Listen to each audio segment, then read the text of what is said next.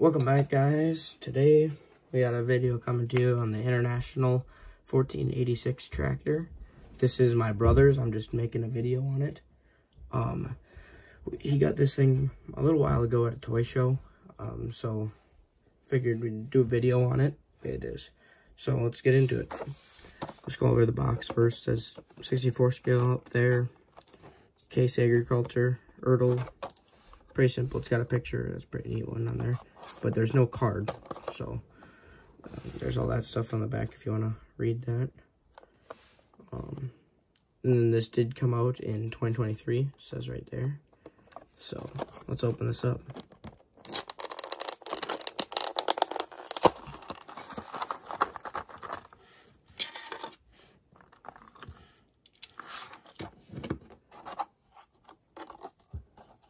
This is kind of neat back here.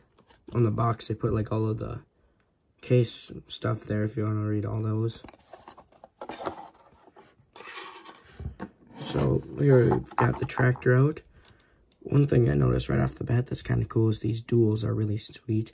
Look nice on the back of this thing.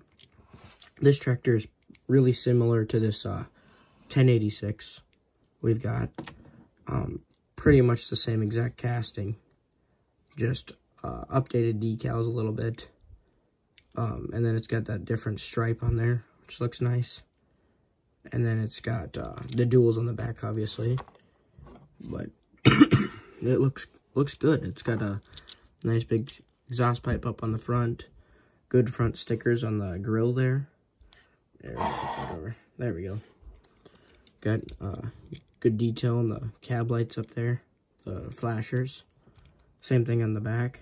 Got the international logo up there. Neat little sticker. Um, good engine detail if you can see right there. Right in there, it's pretty, looks nice. It's got good little ladder steps on each side. Um, you got like the lights right down there by the cab. Um, that's pretty much majority of it from the front. It's got, and once again, that stripe just looks really nice and sharp right there at the front. And then it's got the stripe coming down the back there. Uh, it's got the reflector on the back. The hitch there. Nothing too special on the back, but overall, pretty neat tractor.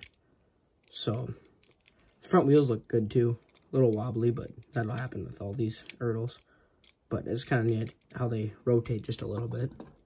But, yeah, it's a pretty neat tractor, so be a fun one to add to the collection.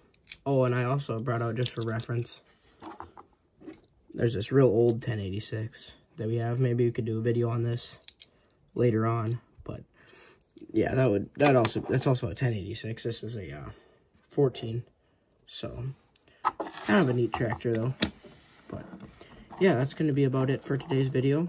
If you guys enjoyed, like and subscribe, and see you on the next one.